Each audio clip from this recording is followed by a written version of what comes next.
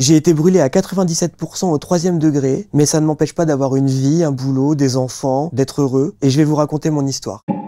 J'ai eu mon accident lorsque j'avais 9 ans. J'étais en camping sauvage avec mon père. C'est une lampe à gaz qui s'est renversée, qui a fait prendre feu à la tente et euh, qui a déclenché un incendie. On atteint un tel niveau en fait de, douleur que le système nerveux il pète les plombs instantanément. Ce qui fait que moi je me suis pas réveillé en fait. Il a fallu qu'on vienne me réveiller et que derrière, ben voilà, on m'emmène dans une voiture pour aller jusqu'au secours, tout en se consumant. J'ai eu mon accident dans le sud de la France et donc j'ai été euh, rapatrié dans le plus grand hôpital de grands brûlés euh, de l'époque, l'hôpital La Péronie à Montpellier. Sauf que en fait, bah, à 87%, ils avaient jamais vu. Il y avait aucune chance de survie pour eux, donc euh, eux, ils étaient dans, dans un état de chaque jour attendre euh, la fin. Et c'est qu'au bout d'un mois, un mois et demi, que euh, on a réussi à me faire transférer donc dans un hôpital militaire à Paris où ils ont réussi à me sauver. S'en est suivi de ça donc bah cinq mois de réanimation. Ensuite, j'ai eu à peu près dans les 5-6 ans de centre de rééducation, ce qui me donne à peu près 7 ans en tout d'hôpitaux pour euh, une cinquantaine d'opérations. Moi, j'avais 9 ans, donc en fait à 9 ans, on se pose pas trop de questions, euh, on avance. Je dis pas que c'était pas dur, c'était hyper dur, mais globalement, voilà, j'avais l'école, j'avais les amis, donc l'hôpital, c'était quand même un peu ma maison. Je pense que c'est une chance quand ça t'arrive et que tu es petit, parce que bah, du coup tu grandis avec. Et j'ai eu la chance, euh, de par mon parcours, d'avoir une vie au final plutôt classique. J'ai eu euh, des copines, je sortais. Donc voilà, ça m'a permis de vivre ma vie, d'avoir des enfants, de me marier. Et voilà, d'avoir un job. Euh, je me suis mis à mon compte en dépannage informatique. Je me développe sur les réseaux. Je pense que globalement, déjà dans la vie, et ça vaut pour tout, pas que pour les relations sentimentales, mais on attire un peu ce qu'on dégage. Même quand on part avec un handicap, il y a toujours moyen de compenser, de, de faire avec les traits de caractère, euh, le charisme, l'humour, euh, peu importe, euh, la discussion, enfin ce qu'on a. Je pense qu'aujourd'hui, à notre époque, c'est une, plutôt une force d'être atypique. J'aime bien tout ce qui est pas normal et tout ce qui se font pas dans la masse. Un vécu un peu extraordinaire, entre guillemets, ça enrichit la vie, donc on a des choses à raconter super. Alors le regard des gens, il a vachement évolué. J'ai eu mon accident dans les années 90. Quand je me promenais dans la rue, j'étais euh, un des trucs les plus euh, énervés que les gens pouvaient avoir vu. Aujourd'hui, je suis euh, banal. Les gens et les jeunes voient bien pire sur Internet. Et en plus de ça, les gens sont extrêmement bienveillants. Au final, j'ai une communauté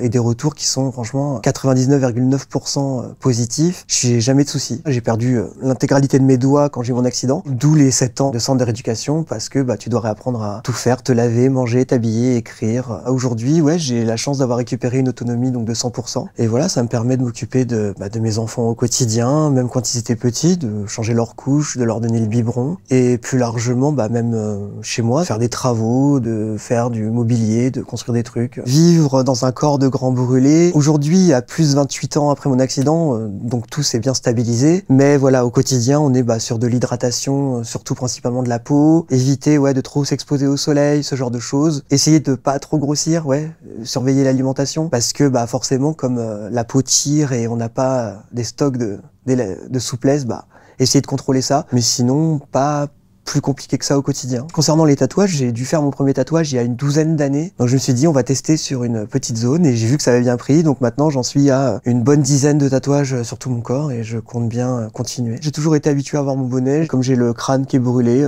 ça remplace des cheveux, c'est mon style. La seule conséquence euh, au niveau interne, c'est les poumons. Au moment de l'incendie, il y, a des, gaz carboniques qui se dégagent. Moi, pour le coup, j'ai eu du bol, c'est que mon accident était en extérieur et je pense que ça a aidé du coup à dissiper euh, les vapeurs. Mais globalement, voilà, mes poumons ont été impactés, ça a joué sur ma capacité respiratoire. Mais aujourd'hui, à 37 ans, on va dire que quand même j'ai eu une bonne récupération, je fais du sport et mes poumons sont moins euh, attaqués que par exemple si j'avais fumé toute ma vie. Début décembre 2022, j'ai découvert, je savais pas, que euh, les greffes de peau et notamment la culture de peau que j'ai pu avoir sur mon corps augmentaient les risques de carcinome, des cellules dégénératrices, euh, voilà.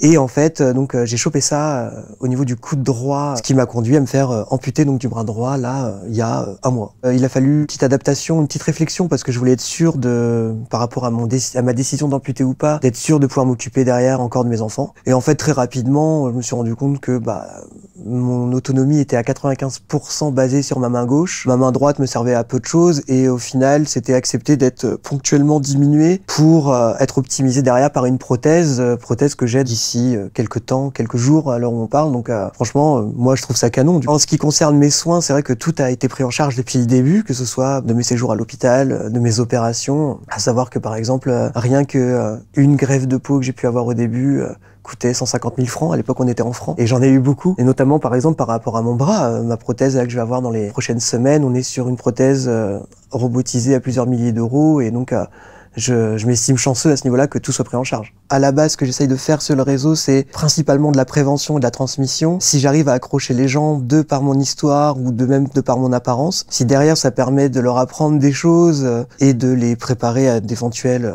choses dans ce style-là, je trouve ça vachement cool. Alors, c'est assez difficile de donner des conseils, mais globalement, euh, c'est aussi pour ça que j'essaye de faire ces vidéos-là, c'est pour euh, lutter contre une forme d'enfermement pour montrer que euh, même notamment quand je m'adresse à d'autres brûlés, j'essaye de leur expliquer que bah voilà 97% euh, ça faisait de moi le plus grand brûlé du monde et ça le fait peut-être encore. Et du coup, je me dis que s'ils voient quelqu'un à ce niveau-là de brûlure euh, faire sa vie et réussir au final à avoir une vie à peu près ordinaire, ça va les pousser à sortir et à prendre sur eux et un pas après l'autre. Et globalement, c'est le premier pas le plus difficile. Donc bah voilà, euh, parlez-en, euh, essayez de pas de pas rester seul, mais euh, globalement, voilà, avancez.